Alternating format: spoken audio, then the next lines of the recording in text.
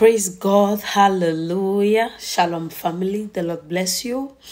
I welcome you in the name of Jesus. Amen. If you're seeing me for your very first time, you're welcome. God bless you. This is the word and prophecy with Sylvie Mbua. If you're new, you're welcome. God bless you. And if you're old, thank you so very much for always stopping by. Thank you so much for making me part of your family. I pray the Lord bless each and every one of you and meet you at the very point of your need in the name of Jesus. Amen. Hallelujah. Glory to God. Prophetic word for today. The Lord says, I should tell somebody, be careful during the weekends. Be careful during this weekend, especially. Now, this weekend, there is something that is going to happen, and God wants you to escape it this weekend, the devil has designated a lot of bad things for it to happen this weekend.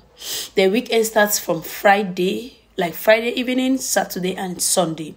That is the weekend for us. And God says, I should come and pray for somebody. Pray for the weekend of somebody because this weekend, the devil is trying to uh, to the devil is plotting something very dangerous against the children of God.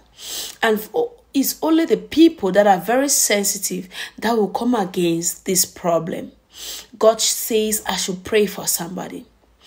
Father, in the name of Jesus, by the blood of Jesus, save your children. Let them escape this havoc. In the name of Jesus, destroy the plan of the enemy over their lives this weekend in the name of Jesus. And to everybody that is connected to this word, destroy the plan of the devil over their life this weekend in the name of Jesus. Amen. Hallelujah. Glory to God. God has done it and it is coming to pass. God has done it. The devil has no hold. It will not come to pass. The word of the Lord is the only thing that will come to pass in your life. In the name of Jesus. Amen. Hallelujah. I hope you receive the word with gladness and I hope this word met you well. Now, the culture of heaven is blessing. Now, may the Lord bless you, keep you. May He cause His countenance to shine upon you. May God be gracious to you and may God give you peace. The shalom of the Lord, nothing missing and nothing broken. I love you, family, and I will see you shortly. God bless you. I love you.